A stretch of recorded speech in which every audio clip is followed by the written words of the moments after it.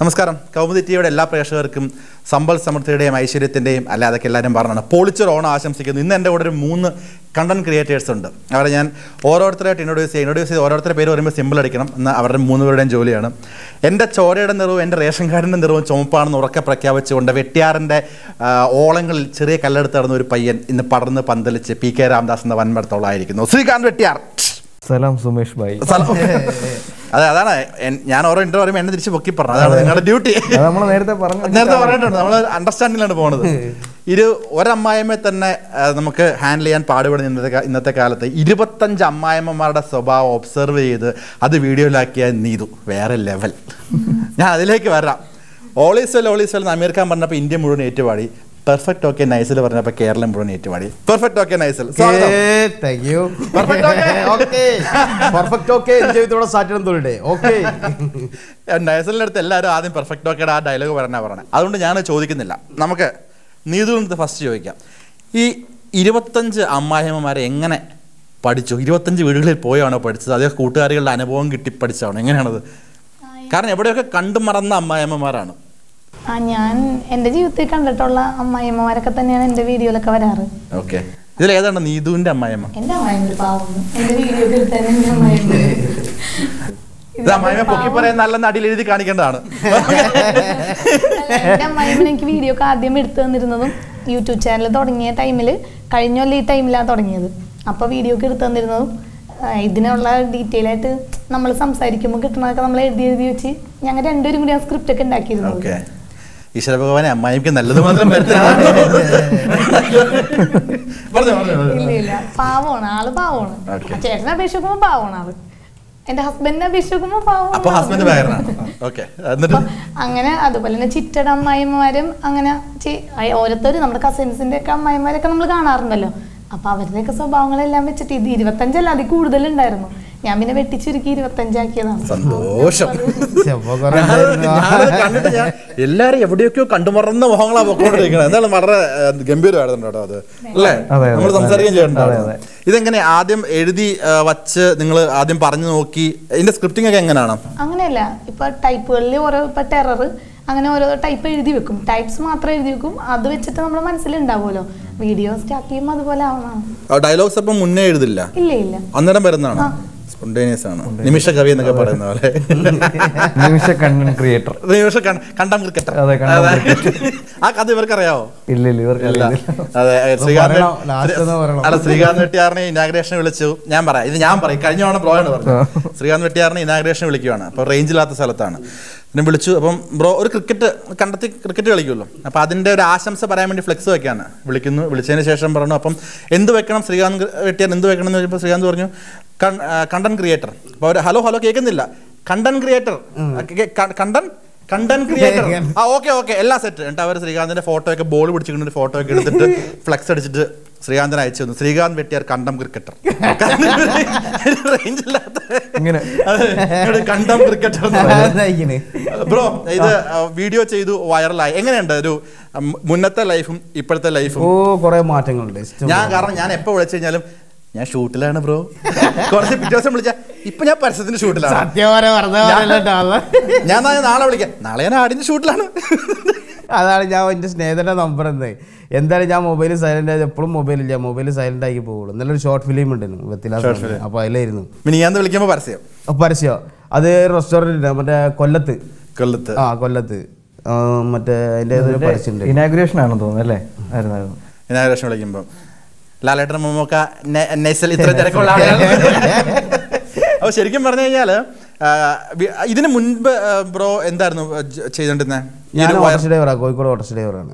Okay okay. ഇപ്പൊ ഇപ്പോ ആ ഒരു ലൈഫിൽ നിന്ന് മാറി ഇപ്പൊ നിന്ന് തിരിയാനുള്ള സമയം കിട്ടുന്നില്ല. വീട്ടുകാരൊക്കെ ശരിക്കും മിസ് ചെയ്യണ്ടാവുമല്ലോ. ഇപ്പൊ വൈഫും മക്കളും ഒക്കെ എന്താണ് പറയുന്നത് വല്ലപ്പോഴും വീട്ടിൽ വന്നൂടെ?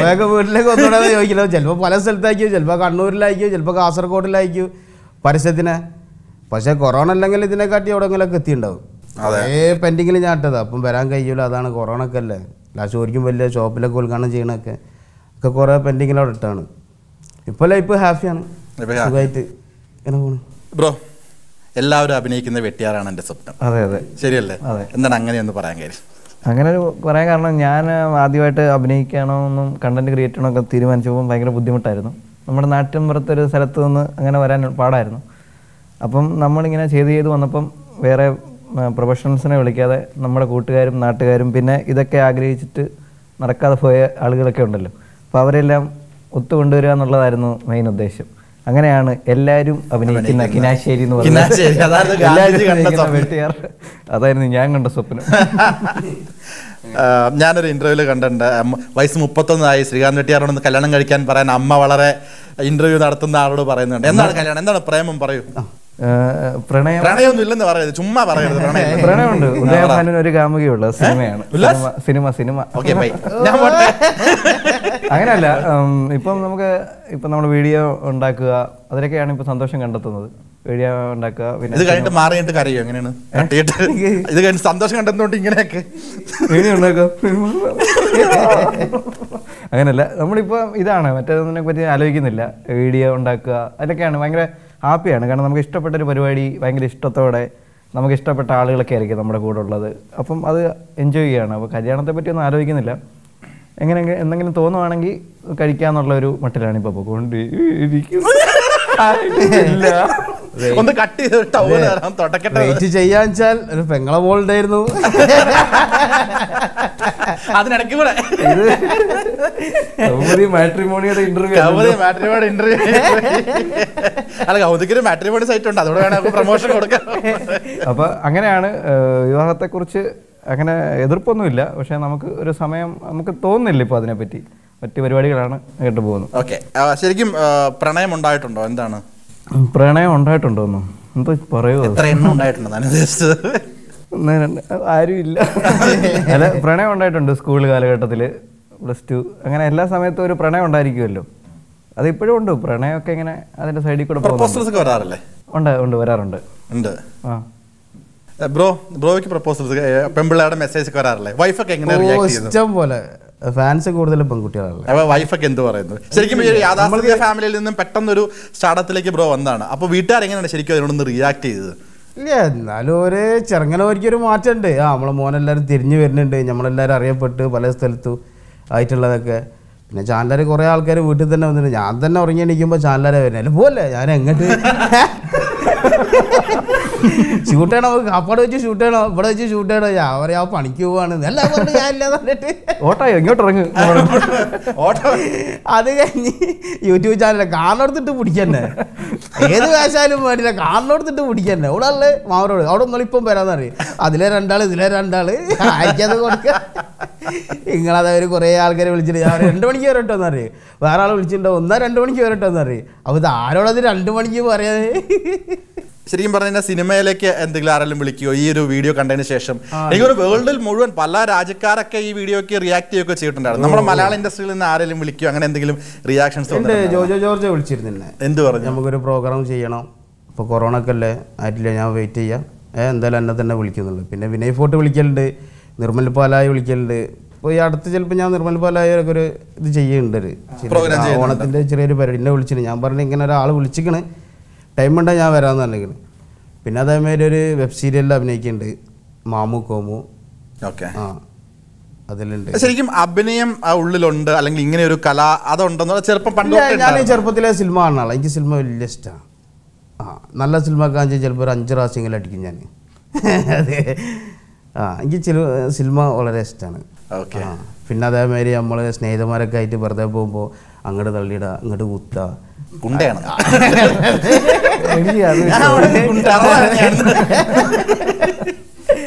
അങ്ങനത്തെ ഒക്കെ ഒരു മൂടുള്ള ആളാണ്. ജോളിയാണ് ആ ജോളിയാണ്. ഓക്കെ. നീതു ഫാമിലിയുടെ സപ്പോർട്ട് ഇപ്പം അമ്മായിമ്മ മദറിനോടെ പറഞ്ഞു. ബാക്കി ഹസ്ബൻഡ് ബാക്കി അവരുടെയൊക്കെ സപ്പോർട്ടിങ് ആണ്. ഇപ്പോൾ ഇങ്ങനെ ഒരു വീഡിയോ ചെയ്യാൻ വേണ്ടി ഈ ഒരു തോട്ട് എവിടുന്നാണ് വന്നത്. ഫസ്റ്റ് പറഞ്ഞപ്പോൾ അവരുടെയൊക്കെ ഒരു ഫാമിലി സപ്പോർട്ട് എങ്ങനെയായിരുന്നു? അങ്ങനെയല്ല ടിക്ടോക്ക് നമ്മൾ ടിക്ടോക്കിൽ നിന്നാണ് വന്നത്. അപ്പോൾ ടിക്ടോക്കിൽ ഇതേപോലെ ഒരു അമ്മായിമ്മയുടെ വീഡിയോ ചെയ്തിട്ട് തന്നെയാണ് അത് വൈറലായത് അപ്പോൾ പെട്ടെന്ന് ഒരു ഒരു മണിക്കൂർ കൊണ്ട് നൂറ് കെ.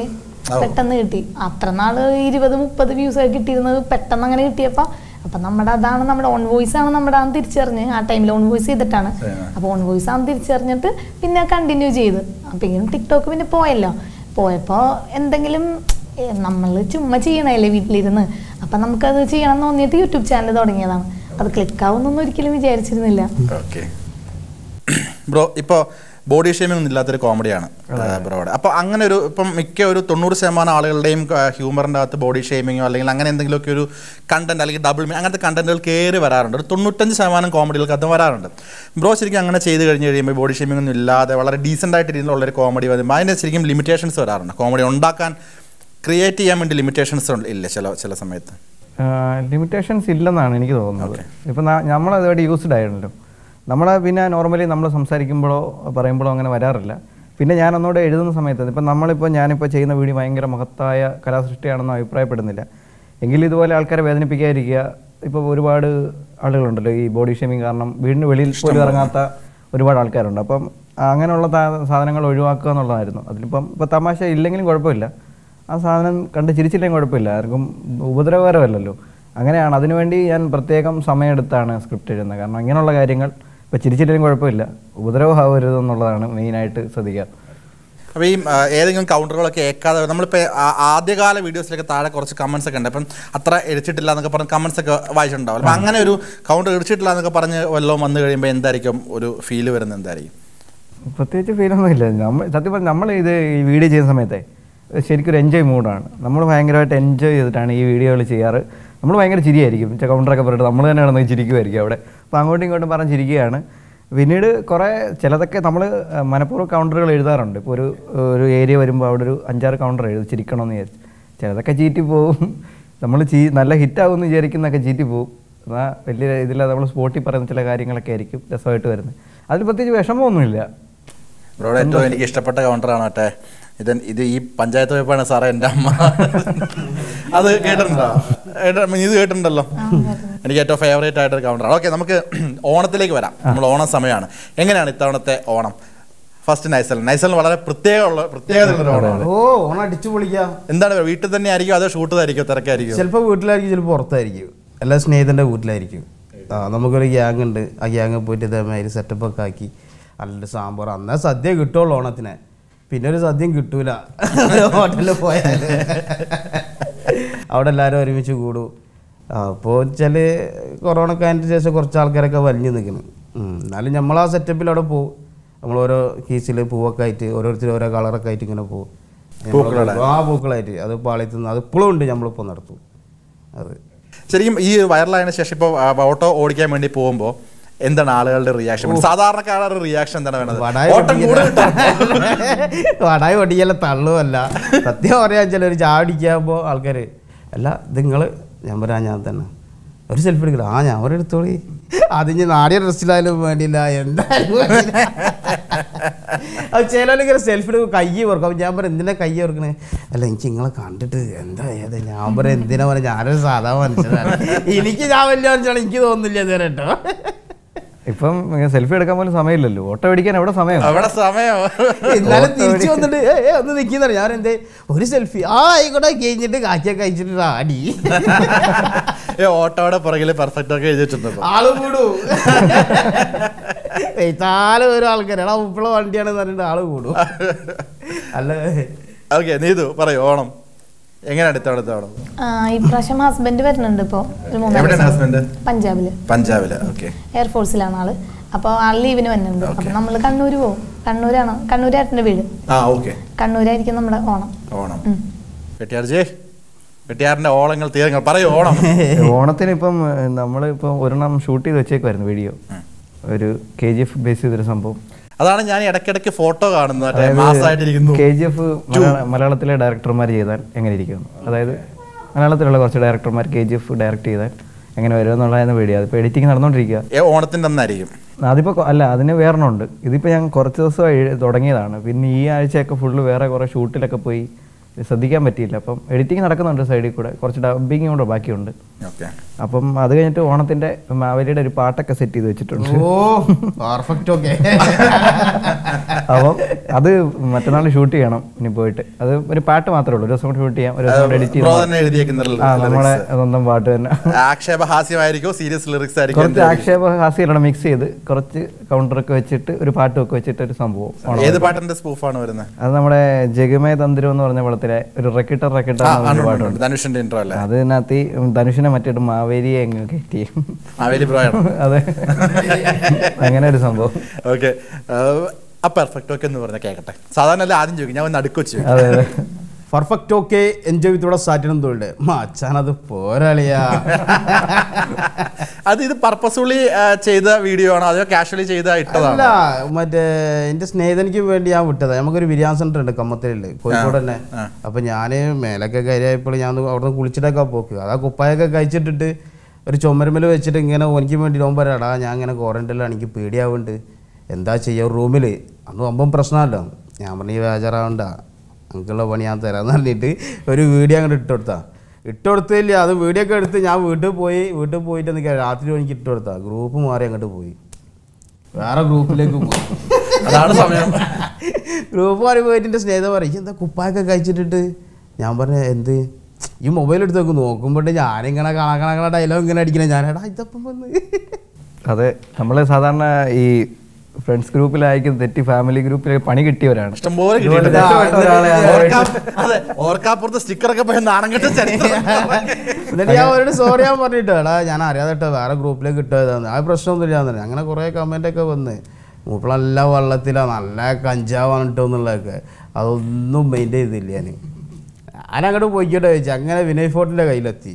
വിനയ് ഫോട്ടോ അവന്റെ ഇൻസ്റ്റാഗ്രാമിൽ പേജിൽ ഇട്ട് അങ്ങനെ കുറേ വിനയാണ് ആദ്യമായിട്ട് ആ വിനയ ആദ്യമായിട്ട് ആദ്യമായിട്ടിട്ടുണ്ട് അങ്ങനെ അത് കണ്ട് കണ്ട് കണ്ട് എന്തൊക്കെയാ കൊറോണ ഒന്നും പാടി ഒന്ന് ടൈറ്റ് ആയപ്പോൾ അശ്വൻ ഭാസ്കറിന് എടുത്ത് കണ്ട് മ്യൂസിക്.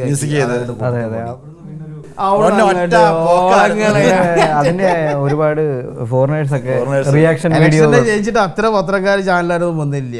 എന്റെ വീട്ടിലേക്ക് ഒരു അത് കൊള്ളാം. സത്യം പറഞ്ഞാൽ ആ വീഡിയോ കാണുമ്പോൾ നമുക്കും പുള്ളിക്കാരൻ പറഞ്ഞല്ലോ ആ കൂട്ടുകാരനെ ഒന്ന് ഇത് മോട്ടിവേറ്റ് ചെയ്യാൻ വേണ്ടി അവിടേക്ക് ഒരു മോട്ടിവേഷൻ എന്നോട് കുറെ ആൾ ചോദിച്ചു എല്ലടാ എനിക്ക് അവിടുന്ന് ബീഫ് ഫ്രൈയും പൊറോട്ട ഒക്കെ കിട്ടിയേ? ഞാൻ പറഞ്ഞ പൈസ കൊടുത്ത് വാങ്ങണോ ഓൻ ക്വാറന്റൈനിലെ ഈ വീഡിയോയിൽ ബീഫ് ഫ്രൈ പൊറോട്ട ബിരിയാണി ചപ്പാത്തി അത് ഞാൻ പറഞ്ഞ ആക്ക പൈസ കൊടുത്ത് വാങ്ങണം കിട്ടണ തിന്നാ മതി.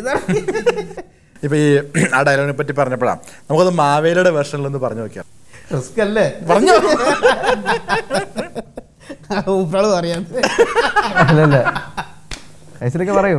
കുഴപ്പമൊന്നുമില്ല. നൈസിലൊക്കെ അന്ന് പറഞ്ഞില്ലേ? കാഷ്വൽ നൈസിലേക്ക് എങ്ങനെ പറഞ്ഞു അങ്ങനെ പറഞ്ഞു നമ്മളെ ഡയലോഗ് പറഞ്ഞ പോലെ.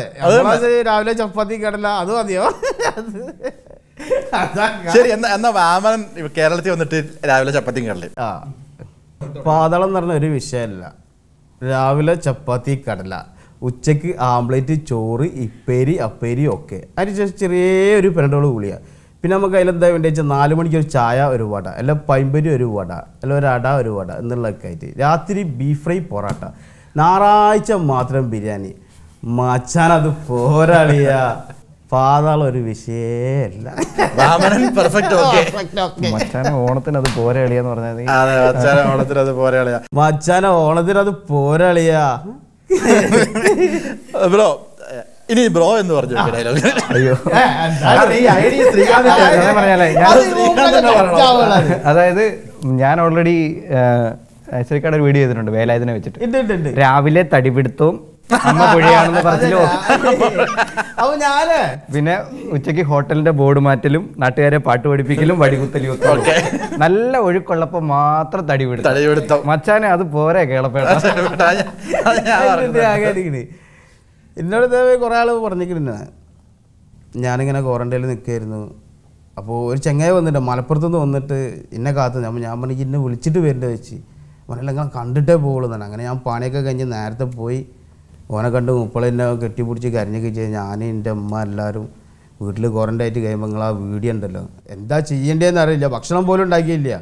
ആ ചെങ്ങായി കരിഞ്ഞിട്ട് പറയാ നമ്മൾ ഈ കരിയല്ല എല്ലാം എനിക്ക് അത്രയും വലിയ ഇഷ്ടമാണ് നിങ്ങളെന്ന് പറഞ്ഞിട്ട് മുപ്പളെ കെട്ടിപ്പിടിക്കുക നിങ്ങൾ ആ വീഡിയോ കണ്ടപ്പോൾ നമുക്കൊരു മനസ്സാകും. നിങ്ങൾ സിമ്പിളായിട്ട് ആ ഒരു വിഷയം തല്ല എന്നുള്ള ധാരണയെന്നല്ലേ അത് ശ്രീകാന്ത് പറഞ്ഞാലേ സത്യം പറഞ്ഞാൽ എനിക്ക്. ഞാനത് കണ്ടപ്പോൾ എനിക്ക് അങ്ങനെ ഫീൽ ഇപ്പോൾ സത്യം പറയാല്ല ഗൾഫിൽ നിന്ന് മറ്റേ മിലിറ്ററിക്കാരൊക്കെ രാത്രി തന്നെ വീഡിയോ കോൾ ചെയ്യും. അന്ന്. എന്നിട്ട് ഒരു ഞാൻ തന്നെ അറിയില്ല. ഞാൻ തന്നെ എന്നിട്ട് മെയിൻ പ്രശ്നം എന്താ പറയുക ഞാൻ കോൾ ചെയ്താൽ എന്തൊക്കെ അറിയോ? ഏത് പാതിരക്കാരും ഞാൻ എടുക്കും. ഓക്കെ ആ. അതൊരിക്കും വലിയ ഇഷ്ടമാണ് അപ്പോൾ എന്നോട് പറഞ്ഞാൽ നിങ്ങൾ എന്തൊക്കെ അറിയോ? കോൾ എടുക്കുന്നുണ്ട്. ചിലർ വലിയ ജാടാണ്. ഞാൻ ഒരു കോൾ നിങ്ങൾ എന്റെ മറ്റേ കോൾ ചെയ്യണമെന്ന് വെച്ചാൽ എന്റെ സംസാരം കേൾക്കാനും വേണ്ടിയിട്ടാണ്. അപ്പോൾ ഞാൻ കോൾ എടുത്തേ പറ്റും. ചെറിയ മക്കൾ വരെ പെർഫെക്റ്റോ കഥ പോണോ? പെർഫെക്റ്റോ കഥ പോണെന്ന് ആ കുട്ടികൾക്ക് റേഞ്ച് ആവാൻ കാരണം എന്താ പറയുക ഓൺലൈൻ ക്ലാസ് അല്ല ഇപ്പം നടക്കണേ. ആ കുട്ടികളെ മനസ്സിലങ്ങോട്ട് കീറിപ്പോയി. അതെ അതെ. അതാണ് മെയിൻ വിഷയം. ഇപ്പൊ മക്കൾ ക്ലാസ്സിലൊക്കെ അതിനുശേഷം ടീച്ചർമാർ വിളിച്ചിട്ട് പറഞ്ഞല്ല എന്റെ മോളോട് തന്നെ വിളിച്ചു പറഞ്ഞു എന്റെ മോൾക്ക് പതിനഞ്ച് വയസ്സായി. അല്ല ഇപ്പം അങ്ങനെ സ്റ്റാർ അയക്കണല്ലോ ഇപ്പം ഒരു ദിവസം കൊണ്ടുവരണോ? അങ്ങനെയാണ് ഇങ്ങനെയാണെന്നൊക്കെ അതൊക്കെ നമ്മൾ പോകുമ്പോൾ ടീച്ചറെ ടീച്ചർ ആയിരിക്കി അവിടെ ഇരിക്കും. അവിടെ ഇരുന്നോളി. വെള്ളം കൂടെ. അതൊക്കെ അല്ലേ ഭാഗ്യം. നാളെ നിങ്ങൾ അച്ഛനെ വിളിച്ചോണ്ട് ഇതൊക്കെ തന്നെ അത് തന്നെ അത് ഒരേ കാര്യത്തിന് പക്ഷെ പറഞ്ഞ ടോൺ മാറി. ടോൺ മാറിപ്പോയി. നാളെ അച്ഛനെ വിളിച്ചോണ്ട് കേറാന്ന്. അച്ഛനെ കൊണ്ടുവരില്ലേ? അച്ഛനെ കൊണ്ടുവരില്ലേ? അച്ഛനെ കൊണ്ടുവരില്ലേ? നോക്കാം. ഇതൊക്കെ തന്നെ വലിയ ഭാഗ്യല്ലേ ഇവിടെ വന്ന് നിങ്ങളോട് സംസാരിക്കാന്? ശരിക്കും പറഞ്ഞാൽ ഇതിനു മുമ്പ് വലിയ ജാടയിട്ട ആളുകളൊക്കെ ഈ സ്റ്റാർട്ടത്തിലേക്ക് കയറി കഴിഞ്ഞ് കഴിയുമ്പോൾ അവിടെയൊക്കെ സ്വഭാവം മാറിയത് കണ്ടിട്ടില്ല? അവരോടൊക്കെ എങ്ങനെയായിരുന്നു റിയാക്ഷൻ ഞാനെപ്പോഴും പ്യൂറായിട്ട് സംസാരിക്കുന്ന ആളാണ് നമ്മളെ മനസ്സിലൊരു കളങ്കില്ല നമ്മളോട് ദേഷ്യമുള്ള ആളോട് രണ്ട് ചിരി ചിരിച്ചാലൊന്നും ഒരു പ്രശ്നമൊന്നുമില്ല. ഒരാളെ ചിരിപ്പിക്കാൻ നിങ്ങൾ പറഞ്ഞ ഒരാളെ ചിരിപ്പിക്കാൻ തന്നെ വലിയ കഴിവാണ്. നമ്മളാദ്യമേ കോമഡിയൊക്കെ അടിച്ചാൽ അതേ സുഖമല്ലേ ഇതേമാതിരി ഒരു ഓട്ടർച്ചക്കാരന് നമ്മൾ ഞാൻ ഒന്നും ഓട്ടർച്ച ഓട്ടില്ല ഒരു ഓട്ടർച്ച രാത്രി. ഞാൻ പറഞ്ഞില്ല ഒന്ന് ചക്കങ്കാട് വരെ പോകുന്നു വെച്ച്. ഇപ്പോൾ കാലി അടിക്കേണ്ടി വരും. ഞാൻ പറഞ്ഞ് അല്ല കാലി അടിച്ച് വരില്ലെന്ന് പറഞ്ഞു ഞാൻ കാലി മാത്രമാക്കണ്ട ഒരു കരിങ്കല്ല അതിൽ കെട്ടിത്തരാം ഒരു നോട്ടോ. ഇങ്ങനെ കാലി അടിച്ചു തരുന്ന എന്തൊക്കെ അങ്ങോട്ട് പൈസ കൊടുത്തു കഴിഞ്ഞാൽ പിന്നെ റിട്ടേൺ അതെ, ഞാനൊരു കരിങ്കലയിൽ കയറ്റിട്ടരാ എന്നിട്ട് ഇങ്ങോട്ട് പോരാ. ഓക്കെ നീതു. നീതുവിന്റെ സിനിമയിലേക്ക് എന്തെങ്കിലും അങ്ങനെ എന്തെങ്കിലും എൻട്രി പറഞ്ഞായിരുന്നു. ഓക്കെ. അഭിനയമാണ് ബേസിക്കലി ലക്ഷ്യം. ആണോ? അതെ അല്ല. ഈ യൂട്യൂബ് ചാനലൊക്കെ ആയിട്ട് മുന്നോട്ട് പോയാൽ മതി. സിനിമ എന്നൊന്നൊരു മോഹമില്ല അപ്പൊ വിളിച്ചാ പോവില്ല? പോവില്ലെന്നല്ല. വിളിച്ചാൽ പോവും. നല്ല റോൾ കിട്ടിയാൽ പോവും. പക്ഷെ അങ്ങനെ ഒരു അതിലോട്ട് അത് തന്നെ കിട്ടണം എന്ന് വിചാരിച്ചിട്ട് നിൽക്കണില്ല പറ. എന്നോട് പറഞ്ഞത് പറ. എന്തുവാ? നേരത്തെ പറഞ്ഞില്ലേ? പറ. അഭിനയിച്ചത്. ഞാനിപ്പം ഒരു നേരത്തെ നമ്മൾ മറ്റേ പറയണെന്ന് പറഞ്ഞാൽ ക്യാമറ മൂന്നെണ്ണം പറയാ പറഞ്ഞോ? അല്ല അത് ആൾക്കാരുടെ പേര് പറയുന്നില്ല. അപ്പൊ അത് ഇവനെ പറയണ്ടെന്ന് പറഞ്ഞോണ്ടാണ്. അവർ മുന്നേ ചെയ്ത പടത്തിന്റെ പേര് പറഞ്ഞാലും അയ്യോ അപ്പം പിന്നെ മനസ്സിലാവത്തില്ലല്ലോ. അപ്പം ഞാൻ ആദ്യം ചെയ്തത് നമ്മൾ ഓൾറെഡി നമ്മുടെ പഴയ കൗമുദി ഇന്റർവ്യൂ സൂപ്പർ ശരണ്യാണ്. സൂപ്പർ സാർ അതിന്റെ ഡബിങ് ബാക്കിയുണ്ട്. അതിനിപ്പോ ഈ കുറച്ച് ഭാഗം കൂടെ ഷൂട്ട് ചെയ്യാനുണ്ടെന്ന് തോന്നുന്നു. അപ്പം അതും കൂടെ ആയതുകൊണ്ട് അത് ഇറങ്ങാത്തത്. പിന്നെ ഇപ്പം ഈ കുറച്ച് ഒരു രണ്ടാഴ്ച മുന്നേ ആയി ഒരു പടം കൂടെ ചെയ്തിട്ടുണ്ടായിരുന്നു. അത് പിന്നെ ഡബിങ് ഒന്നുമില്ല. സിംഗ് സൗണ്ടൊക്കെ ആയിരുന്നു. ഒരു ആന്തോളജി പടമാണ്. അത് ഒ ടി ടി റിലീസ് ആണെന്ന് തോന്നുന്നു. ഉടനെ അത് വരും. ഞാൻ രണ്ട് പടം ചെയ്തു പിന്നെ വേറൊരു പടമൊക്കെ ഇങ്ങനെ പറഞ്ഞു അഭിനയ എനിക്കൊന്ന് ശ്രീകാന്തിന് കുറച്ച് ക്യാമറയ്ക്ക് പിന്നിൽ നിൽക്കാനാണ് നമ്മൾ നമ്മളതിന് സ്ക്രിപ്റ്റ് എഴുതുക എന്നുള്ള ഒരു ഐഡിയയിലാണ്. അമ്മയുമായി ചാൻസ് വെക്കാൻ പോയ ലോകത്തിലെ ഏക മലയാളി. അതെ. ഞാൻ ചാൻസ് വെക്കാൻ അതായത് സെന്റിമെന്റ്സ് വഴി വീഴ്ത്താനായിരുന്നു. ഈ മുഖത്ത് നോക്കിയിട്ട് നിങ്ങൾ പറ ചാൻസ് അപ്പൊ അമ്മ ഇങ്ങനെ അയ്യോ, കൊടുക്ക് chance. അങ്ങനെ ഒരു ഇതിലായിരുന്നു. പക്ഷെ ആ പുള്ളി ഞങ്ങളെ രണ്ടുപേരെയും വിഷമിപ്പിച്ചു വിട്ടു. നന്നായി. നന്നായിട്ട് വിഷമിപ്പിച്ചു എന്റെ മുഖത്ത് നിനക്ക് ചാൻസ് എന്നെ കണ്ട ചാൻസ് ഒക്കെ തരുന്ന ആളായിട്ട്. അപ്പൊ അങ്ങനെ. അപ്പൊ ഇപ്പൊ ഞങ്ങളുടെ മെയിൻ നടി അമ്മയല്ലേ? അമ്മയ്ക്ക് ഫാൻസ് അസോസിയേഷൻ ഒക്കെ ഉണ്ടോ? ഇപ്പം പല ഇന്റർവ്യൂ ഒക്കെ വരുമ്പോൾ അമ്മയാണ് ആദ്യം ചോദിക്കുന്നത്. അങ്ങോട്ട് മാറി. നിങ്ങളല്ല അമ്മ എന്തി നിങ്ങളെന്താ ഇവിടെ നിൽക്കുന്നത്? അങ്ങനെ ഒരു ഇതിലോട്ട് പോയി. അമ്മയ്ക്ക് അമ്മയുടെ വീട്ടിലൊക്കെ ചെല്ലുമ്പോൾ അമ്മയെ തിരിച്ചറിയും. ഇത് അയ്യോ മറ്റേ വീഡിയോ എന്നൊക്കെ പറഞ്ഞിട്ട്. അപ്പോൾ അമ്മയ്ക്ക് അതൊക്കെ ഇഷ്ടമാണ്. അതിപ്പോൾ ചോദിക്കും എന്നെ ഇന്ന് ഇപ്പോൾ രണ്ട് മൂന്ന് വീഡിയോ അമ്മ ഇല്ലായിരുന്നു. അപ്പോൾ അത് വേറെ സ്ഥലത്ത് വെച്ചാൽ ഷൂട്ട് ചെയ്തത് അപ്പം അതുകൊണ്ട് അമ്മ എനിക്ക് ഒന്നും ഇല്ലയോ എന്നെ ഒഴിവാക്കുവാണോ എന്നൊക്കെ ചോദിക്കും.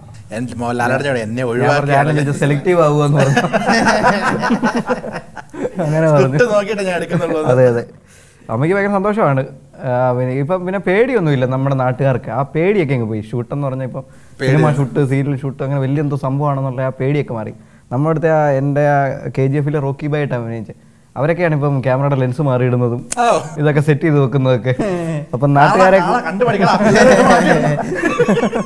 അപ്പം അങ്ങനെ കുറച്ച് ജനകീയമാക്കാൻ പറ്റി നമ്മുടെ നാട്ടിലൊക്കെ. ഇപ്പൊ ഒട്ടുമിക്ക അപ്പൊ ആ പേടിയൊക്കെ പോയി ആൾക്കാർക്ക് അഭിനയിക്കാനുണ്ട്. ശരിക്കും നാട്ടിൽ വേറെ ഇനാഗ്രേഷൻ അങ്ങനെയൊക്കെ വരുന്ന കഴിയുമ്പോൾ അനുമോദനങ്ങളൊക്കെ വരില്ലേ? അതെ അതെ. ഇനാഗ്രേഷൻ ഒക്കെ പോയിട്ടില്ല ആ പോയിട്ടുണ്ട് പോയിട്ടുണ്ട്. ഓക്കെ. അങ്ങനെ എന്തെങ്കിലും രസകരമായിട്ടുള്ള എന്തെങ്കിലും അനുഭവങ്ങളുണ്ടോ? ഞാൻ ഓരോരുത്തരിലേക്ക് വരുന്നുണ്ട്. എനിക്കങ്ങനെ ഇനാഗ്രേഷൻ ഒന്നും ഞാൻ പോയിട്ടില്ല. ഓക്കെ. ഇഷ്ടം പോയത് ഞാൻ എറണാകുളം മറ്റേ അയറൻ ജ്വല്ലറി വൈപ്പിൽ ആ അവിടെ നോമ്പിനെ രാവിലെ പോയിട്ട് ഒരു വൈകുന്നേരം ആകുമ്പോഴത്തേന് ആൾ സൈഡായി പോയി. പച്ച വെള്ളം കുടിക്കാതെ. എടാ ആ സ്വർണം എടുത്ത് കളയടാ പതിനഞ്ച് ഓവൻ എടുത്ത് കളയടാ ഇരുപത്തഞ്ച് ഓവനാണ് കിടക്കണ. ഞാൻ എന്തെടുത്ത് കളിക്കാനാ. സ്വർണം കഴിക്കാൻ പറ്റില്ല എല്ലാം ആ ഷോപ്പ് കയറിയിട്ട് ഒരു നിരക്കില്ല ഉപ്പിളെ ഈ അങ്ങോട്ട് നിരങ്ങിക്കോ എന്നിട്ട് മോയിലാളി ഇങ്ങനെ നോക്കിക്കുക. എന്നിട്ട് ഞാൻ ഇത് കുട്ടികളെ വല ഇത് ഉമ്മക്ക് കാതിലത്തത് മറ്റേ അരച്ചതിന് അരസാമാനോ അതൊക്കെ എടുത്ത് കളിച്ചിട്ട് ഓരിങ്ങനെ ഷൂട്ട് ചെയ്യന്നെ. അത് മറ്റേ എടാ പതിനഞ്ച് പവൻ അത് എടുത്ത് കളിയുടെ അത് പതിനഞ്ച് പവന്.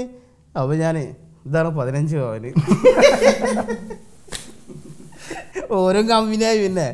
അവിടെ അതാ ഇരുപത്തഞ്ച് പവൻ അത് കൊടുത്ത് കളി. ഫുള്ള് സ്വർണത്തിന്റെ കൊണ്ട് കളി. ഞാൻ ആദ്യമായിട്ട് ഒരു ചുല്ലരി കയറി ഇങ്ങനെ നിരങ്ങണത്. ഞാൻ പോകാൻ നേരത്തെ പറഞ്ഞു ഒന്ന് ചെക്ക് ചെയ്താൽ കിട്ടുന്നത് തന്നെ അത് ചെക്ക് ചെയ്തിട്ട് വിടുള്ളൂ. അതെ അതെ. സാധാരണ നമ്മൾ സ്വർണക്കടയിൽ പോകുന്ന സമയത്തെ സർ മോതിരം? ഈ മോതിരം എടുത്തിട്ട് സർ മറ്റേ മോതിരം ഇങ്ങനെ സാർ ഈ നോക്കൂ. അങ്ങനെയാണല്ലോ. ഇപ്പൊ നമ്മൾ ഇതൊക്കെ ഇങ്ങനെ വന്നുകൊണ്ട് ഇപ്പം സ്വർണക്കടല കയറി ഇറങ്ങാമല്ലോ ഊതിയങ്ങട് മാറ്റി. ഓക്കെ ഡാൻസ് കളിക്കണം. ഞാൻ ആ ഇതിന്റെ ഒരു റീമിക്സ് വേർഷന്റെ അകത്ത് നല്ലതായിട്ട് സ്റ്റെപ്പുകൾ കളിക്കുന്നത് കണ്ടിട്ടുണ്ടായിരുന്നു. അങ്ങനെ ചെറിയ രണ്ട് മൂന്ന് സ്റ്റെപ്പ്. പിന്നെ കിടിലൻ സ്റ്റെപ്പായിരുന്നു വീഡിയോ അതിന്റെ ആ അശ്വിൻ ചെയ്ത വീഡിയോയുടെ ഒരു കൊറിയോഗ്രാഫി ചെയ്ത ഡാൻസ് ഇല്ലായിരുന്നു. ഉണ്ടായിരുന്നു അടിപൊളിയായിരുന്നു. അത്. ഭയങ്കര വൈറലായിരുന്നു വൺ മില്ലിന് മുകളിൽ വ്യൂ പോയി. അതെ അതെ. വെറൈറ്റി മീഡിയ അവർ ചെയ്താണ്. അവർ ചെയ്തതാണ് നമ്മുടെ നമ്മളെ നാട്ടിൽ നിന്ന് തന്നെ മാവരോട് ഒരു ഫ്ലോറിൽ മാത്രമാണ് ചെയ്തത് ആ ഒരു ഇതേമാതിരി ഒരു സ്റ്റുഡിയോ ആണ് സ്റ്റുഡിയോ ആ. ഡാൻസ് ക്ലാസ്സിന്റെ ഒരു സ്റ്റുഡിയോ പി എന്ന് പറഞ്ഞിട്ട്. ശരിക്കും ഡാൻസ് അപ്പം കൊറിയോഗ്രാഫർ വന്ന് ചെയ്ത് എങ്ങനെയാണ് ഇത് അപ്പൊ തന്നെ ചെയ്താണോ? എല്ലാം നമ്മളിത് കല്യാണ പേരിലൊക്കെ അടിച്ചു പൊളിക്കലാണ്. ഭയങ്കര എൻജോയ് ചെയ്യുന്ന ഒരു വ്യക്തിയാണ് അതെ പുള്ളിയെ കാണുമ്പോൾ തന്നെ സന്തോഷമല്ലേ നമുക്ക്? ലൈഫ് അടിച്ചു പൊളിക്കുന്ന ഒരു മനുഷ്യൻ. കല്യാണം വരെ പോയി കഴിഞ്ഞാൽ ഒരു ഇങ്ങനെ "യാ, ആ മൈക്കോട്രാ പാടൂ. ഏ? പാടൂ. ആ, ഒരു പാട്ട് പോരട്ടെ. ഞാനിത് കേൾക്കാം ഞാൻ നീതിയിൽ തുടങ്ങാൻ നടത്തോണ്ടിരുന്ന പോരട്ടെ. ആ തടി എനിക്ക് മൈക്ക് കൊടുക്കാൻ നിൽക്കണട്ടോ പിന്നെ മൈക്ക് കിട്ടില്ല ഞാൻ ഒന്നായിട്ട് അടിച്ച് ഞാൻ പൊളിക്ക് തോന്നിയ സെറ്റ് സംഭവം ആ സെറ്റ് ഇട്ടൊക്കെ നമ്മളെ കുടുംബക്കാരൊക്കെ തന്നെയാണ്. അപ്പൊ ആ പാട്ട് പാട്ട്. ഒരു പാട്ട്. കല്യാണം പരയിലൊക്കെ പാടുന്ന ഒരു പാട്ട്. ഞാൻ ഒരു ശ്ലോകാനം റെഡി അല്ലേ? മയച്ചാരു ഇടവയിൽ നിറമാഞ്ഞു കൽപ്പടവിൽ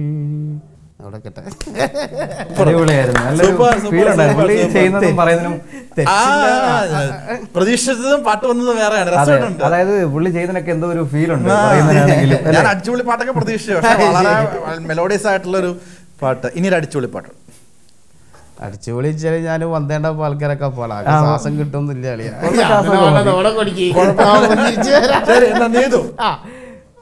ആ, തുടങ്ങിക്കോളി പെർഫെക്റ്റ് ഓക്കെ പഠിക്കും ഞാൻ.